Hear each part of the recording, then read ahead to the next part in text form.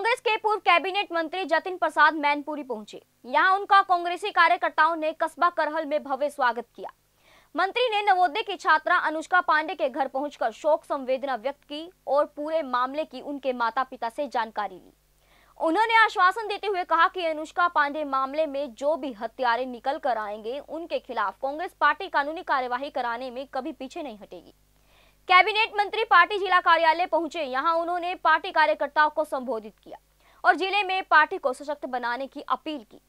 मंगलवार को मैनपुरी पहुँचे कांग्रेस नेता जतिन प्रसाद ने कहा कि केंद्र और प्रदेश की भाजपा सरकार संवेदनहीन हो चुकी है। सुप्रीम कोर्ट तक उत्तर प्रदेश में जंगल राज होने की टिप्पणी कर चुका है।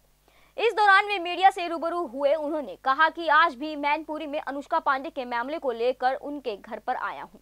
दो महीने बीत चुके हैं, अभी तक कोई भी प्रगति अमल में नहीं लाई गई है। इस संबंध में प्रशासनिक द्वारा लिखित में शिकायत करते हुए जाँच की मांग की गई है। उन्होंने कहा कि बड़ी शर्म की बात है जो अभी तक उन्हें न्याय नहीं मिल पाया है।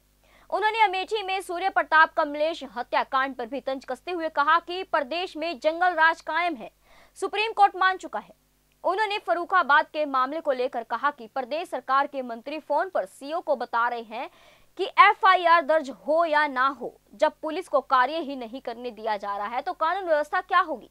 इससे ज़्यादा प्रदेश में दुर्भाग्य की बात और क्या होगी? जो है कानून व्यवस्था इस तरह की लचर व्यवस्था है क्या कहेंगे सर इस सब नहीं इसके बारे में मैं यही कह सकता हूँ मेरे दुर्भाग्य की स्थिति है कि उत्तर प्रदेश में कानून व्यवस्था पूरी चरमरा गई। आज मैं यहाँ मैनपुरी आया हूँ एक छात्रा की हत्या कर दी गई। प्रशासन द्वारा सीबीआई की जाँच की मांग लिखित में दी गई। जो जाँच यहाँ हो रही है, दो महीने तक कुछ भी प्रगति नहीं हुई। उस छात्रा के माता पिता न्याय की गुहार कर रहे हैं। क्या पीड़ा उन पर बीत रही होगी? जब उनकी बेटी ग्यारहवीं कक्षा की उसकी हत्या हो जाए, तमाम उसमें आरोप और उनको न्याय ना मिल पाए। अमेठी में सूर्य प्रकाश शुक्ला जी, उनको कस्टडी में डेथ हो गई। कल एक मिश्रा जी हैं गोरखपुर में उनको गोलियों से हत्या हो गई। कमलेश तिवारी हत्याकांड आपने सुनाई हो। जी। तमाम ऐसी चीज़ें हो रही हैं उत्तर प्रदेश में।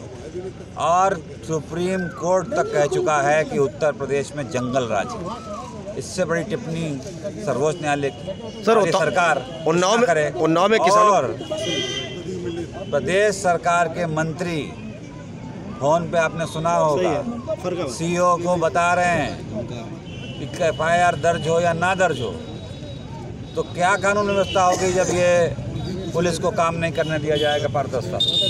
तो बड़े दुर्भाग्य स्थिति है और इस पे सरकार की जवाबदेही बनती है। धन्यवाद। JBD Banquets lie हैं incredible marriage palace Rajgharana and the finest banquet hall Jyoti Garden. World class catering, centrally air conditioned, lush green lawns, state of the art lighting. A perfect venue for wedding, launching and parties. Rajgharana and Jyoti Garden at JBD Banquets Enterprise.